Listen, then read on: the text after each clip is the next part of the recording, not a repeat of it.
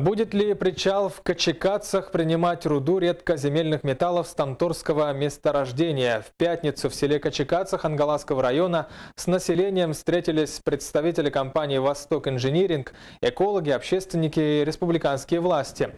Поводом стала обеспокоенность населения распространенными в социальных сетях слухами о намерении компании транспортировать руду до Качекадцев, затем ЖД-транспортом за пределы республики. Люди беспокоятся за экологическую безопасность. О чем идет речь, насколько обоснованы эти опасения и что думают по этому поводу недропользователи, эксперты и сами жители Качекадцев, выслушала наш корреспондент Туяра Филиппова.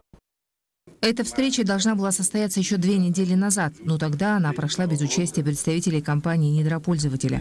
Но и в этот раз главный вопрос, который звучал, почему через Качекацы, насколько руда безопасна, как и в чем она будет перевозиться. Железная дорога-то еще не, не же окончательно. Да? И как вы думаете перевести это по неготовой дороге, такой тяжелый, дорогой минераловые металлы ртути. Как ответили представители компании, Качекацы – это один из нескольких вариантов, рассматриваемых в качестве маршрута транспортировки руды с Тамтора. Обеспокоенность жителей разделяют и некоторые депутаты. Заверения представителей Восток инжиниринга в низкой радиоактивности перевозимой руды убедили не всех. Мне кажется, они полностью не раскрыли, что они ну, конкретно, почему они выбрали вот, э, дорогу через Качекацы. Мы пытались, наверное, говорить, что э, ну, другие варианты транспортировки, они сказали только, что это в экономическом плане выгодно. Но с другой стороны, Почему конкретно, вот как они обоснования полностью не дали? Конечно, мы не против э, развития, но против, чтобы эта перевозка шла по нашей территории. Ситуацию попытались смягчить экологи, утверждающие, что контроль надзорных органов ведется уже сейчас и будет на всем протяжении реализации проекта. Та же ситуация по Тасырях нефтегаздобычу, которая была в прошлом году, мы помним все флешмоб, да, когда на самом-то деле жители села, они колоссально сплотились вот вокруг этого вопроса, и реку Улахан-Батуйбе удалось отстоять, в том числе в результате деятельности министерства, потому что в течение года мы проводили гидрохимические, гидрологические исследования, и в итоге Тасырях нефтегаздобыча пришлось изменить решение. На реке Улахан-Батуйбе водозабор сейчас строиться не будет.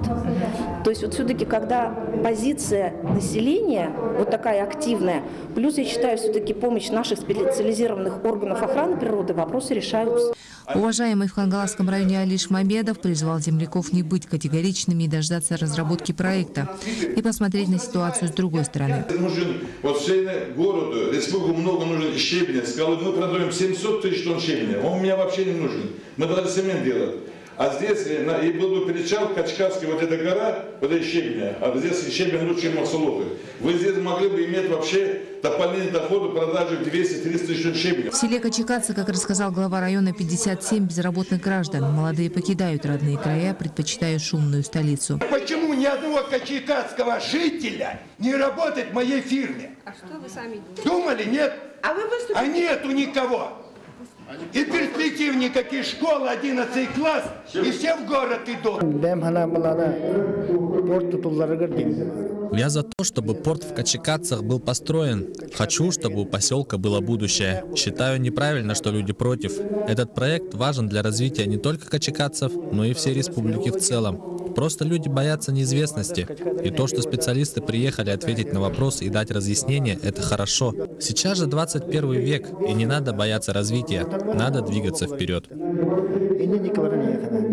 Мнение местных властей оказалось где-то посередине. Создадим межведомственную рабочую группу, куда войдут и жители Качекадского наследия, для того, чтобы можно было выехать прямо на месторождение, там, например, на месте удостовериться, насколько опасен радиационный фон. А так, например, говорить действительно, я понимаю, что некоторые из вас приехали, чтобы просто, просто свою значительность просто показать, раз, поднять свой имидж. Редкоземельные металлы используются в оборонной промышленности, ракето-самолетостроении, высокотехнологичной медицинской технике, о популярных айфонах почти во всех деталях, дисплее, электронной схеме, механизме вибрации и динамики присутствует тот или иной вид редкоземельных металлов.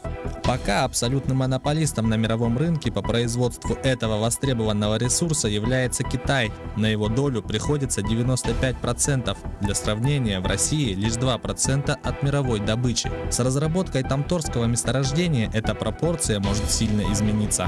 Общественники отмечают, правильно, что население еще до начала проекта интересуется планами компании и открыто высказывает свои опасения. Но обеспокоенность населения – это нормальный абсолютно процесс. И сейчас такое время, когда общественные организации, гражданские активисты, они понимают свои права и, в общем-то, активно ими пользуются, в том числе с нашей поддержкой. Как заверили представители Восток инжиниринга, это только начало совместной работы и подобные встречи с населением станут регулярными. Больше мы будем общаться с населением, больше будем выходить через средства массовой информации, посещать, приезжать, погружаться в быт, проблемы кочекадцев и так далее. В любом случае, когда проект будет разрабатываться, общественное мнение жителей Хангаласского луса также будет учитываться, как это было с жителями Оленекского луса, которых на таких же встречах убеждали в нужности и безопасности разработки тамторского месторождения.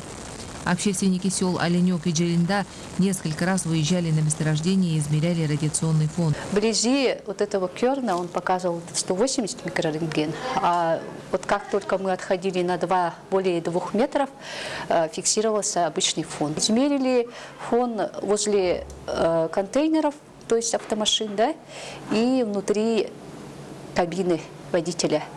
Там тоже фон был около 70 микрорентген.